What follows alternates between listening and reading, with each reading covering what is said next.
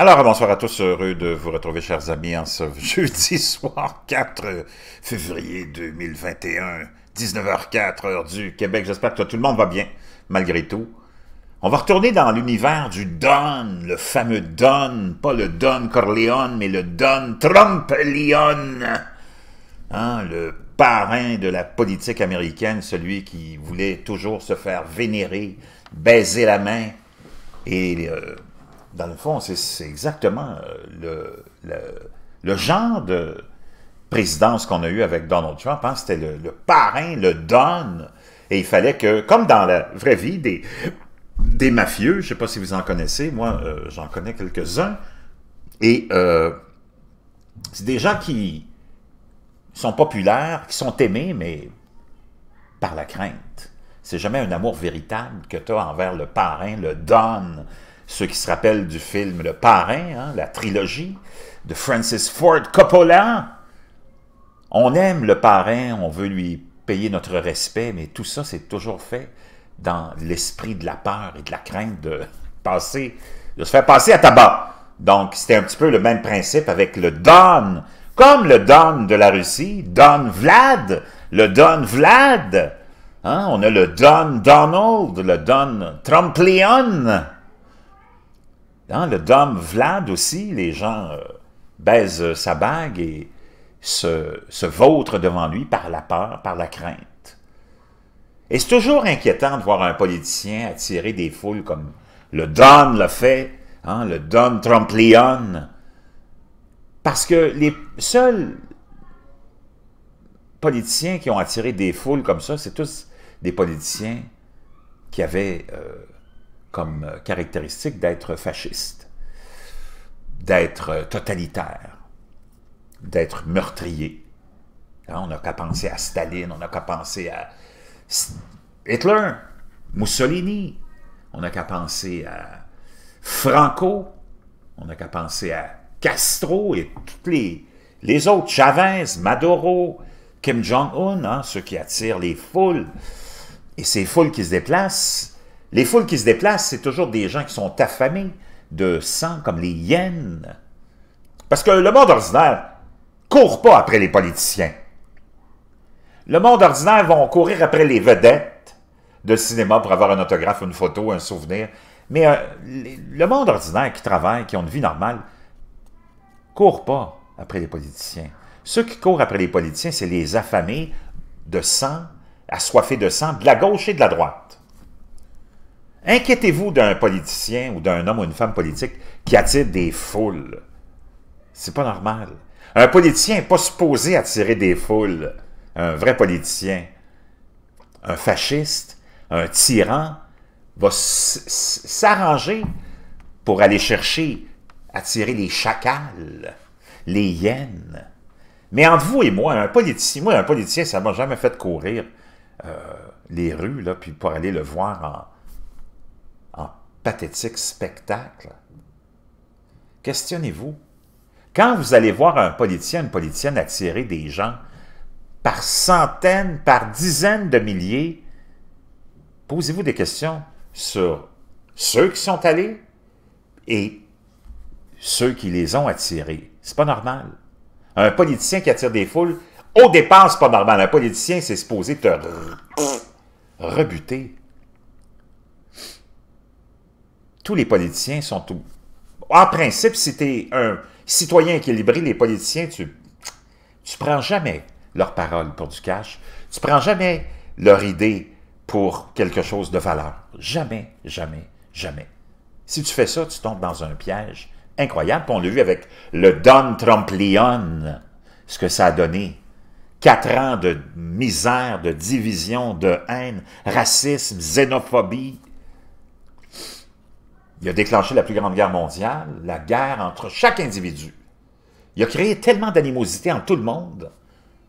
C'est le premier politicien occidental dans le monde libre qui a fait deux campagnes électorales dans le modèle de Don Vladimir.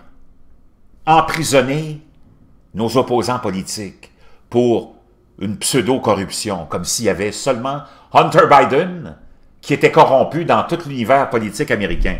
Êtes-vous tombé sur la tête, le monde? Il n'y a pas un politicien américain, québécois, canadien, français qui pourrait passer le test de l'innocence. Le test de l'innocence. Mettez-vous ça dans la tête. Puis tu as Donald Trump qui a, parce qu'il avait peur d'un opposant, Joe Biden en l'occurrence, un vieux sénile de 78 ans qui l'a planté, qui l'a battu. Parce que c'est quelqu'un qui était décent. C'est quelqu'un qui avait la ferveur du public. Mais le monde ordinaire, ils ne sont pas allés l'écouter, ils n'ont pas couru en masse pour aller l'entendre. Ça, ça n'aurait pas été normal. Tu fais juste l'écouter à la radio, pas à la télé, tu te dis, ouais, lui, j'aime ça, comment il parle, ben, il va avoir mon vote. Ça, c'est pas mal plus équilibré. C'est pas mal plus normal que d'avoir un politicien qui attire des dizaines de milliers de chacals et de hyènes assoiffés de vampires, assoiffés de sang.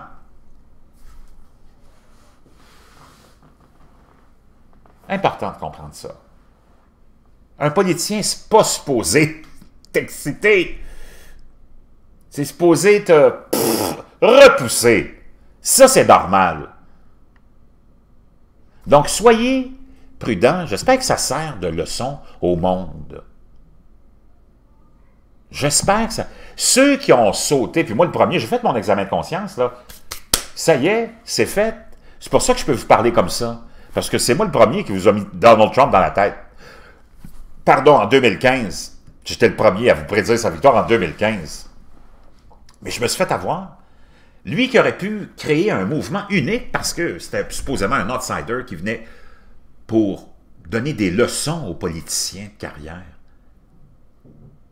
Puis c'est lui qui a voulu imposer, ou essayer, à tenter d'imposer, d'instaurer un système de tyrannie.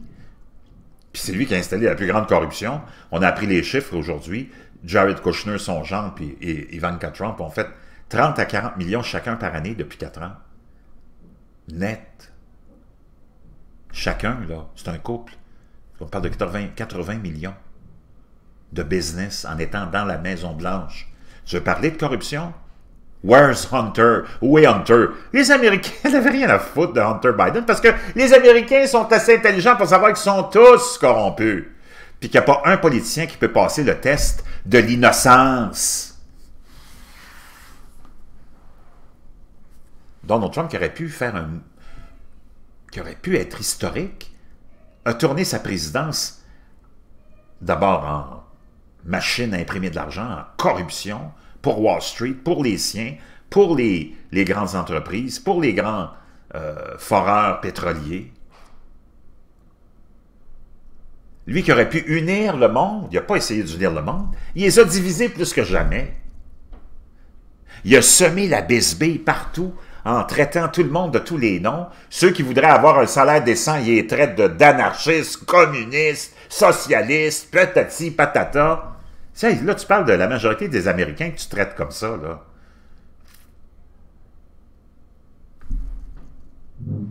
Construire un mur pour empêcher ceux que tu mis dans la misère à l'extérieur de ton pays, toutes les partis politiques, les deux partis politiques majeurs aux États-Unis qui se partagent le pouvoir ont exploité les euh, les Sud-Américains pendant des décennies, puis ils veulent leur fermer les frontières.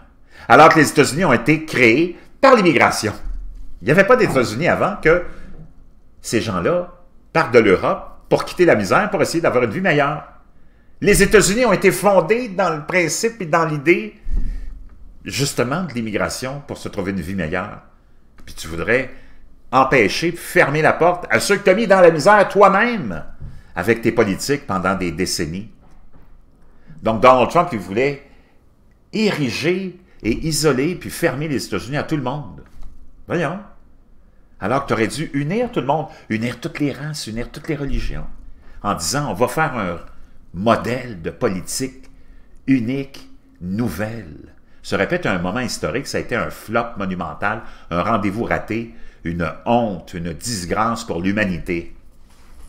Mais ça a plu aux chacals, aux, vampires nationalistes, hein? xénophobes, racistes, islamophobes et homophobes et sexistes. Et c'est pour ça qu'il faut dénoncer ça. Et en conclusion, je vous le répète, méfiez-vous d'un politicien qui attire du monde. C'est pas normal, ça. Tu le sais que ça va mal tourner, qui va, tu le sais que tu as affaire à un tyran qui raconte toutes sortes de démagogies pour aller justement attirer les vampires et les hyènes et les chacals. Un politicien, c'est supposé te, te donner la gratelle, de te donner envie de... Tu sais ce que je veux dire, man? Ça, c'est un politicien normal. Puis tu veux juste voter pour lui ou elle en pensant que c'est la moins pire, puis en te disant « Fais ce que tu as à faire, mais fais-nous pas trop suer, puis fous-nous la paix. » Ça, c'est plus normal que d'avoir un politicien qui attire des dizaines de milliers de chacals, de hyènes et de vampires. Je vous reviens.